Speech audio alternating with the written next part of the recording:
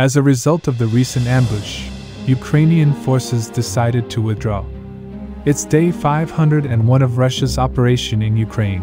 Let's dive deeper. Starting from Patihatki. After failed counterattacks, in which Ukrainian forces walked into a trap at least five times, while suffering serious losses, did not launch any attacks further. They were only using artillery to hit Russian positions.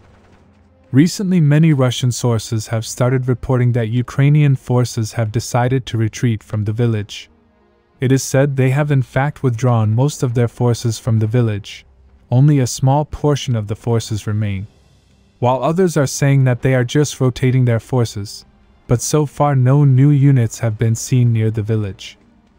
Apparently, Russian forces are not counter-attacking the village, maybe they see it as a trap.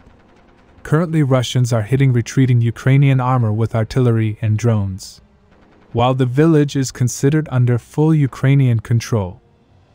Now moving to Orikhiv sector, I did not cover this sector for many days, as there was nothing new happening.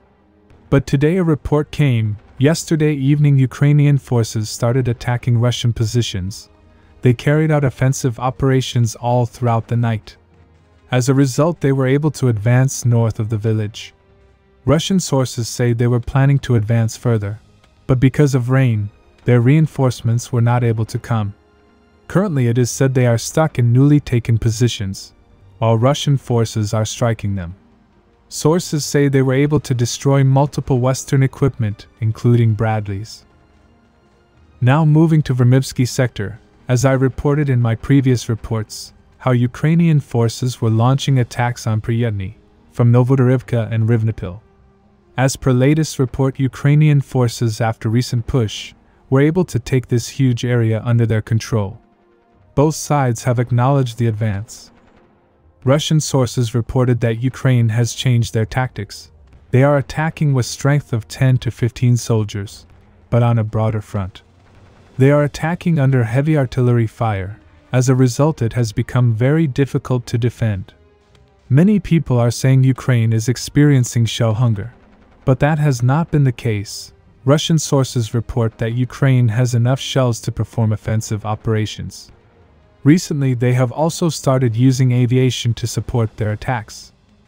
Russian forces have not conducted any significant counterattacks in a very long time, they are mostly on defense and are retreating so it is possible that Russia is simply depleting Ukrainian forces' capacity in this area.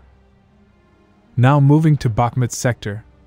After my last report, Ukrainian forces did not make any new advances near Klishivka. They, however, recaptured some of the recently lost trenches in this open field.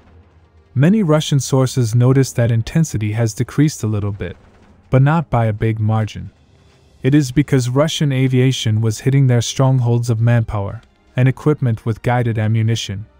In fact, they are destroying multiple ammunition depots around Bakhmut on a daily basis, which may have caused problems for Ukrainians in the short term.